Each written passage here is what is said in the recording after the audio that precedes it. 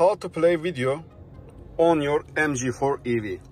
First, get a USB drive, a flash drive, put your MP4 files and insert it to your car.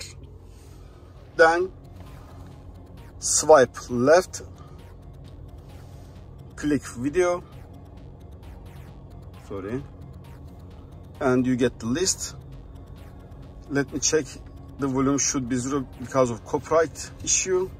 And then you can just click play. And for full screen just click this one.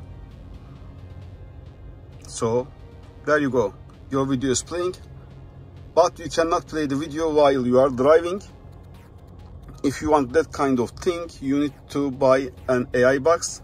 I'm going to share a link of ai box that you can play your videos also download games or any other apps from Google Play just in the video description. So this is how you play video on your MG4 EV. As always, thank you for watching. Have a great day.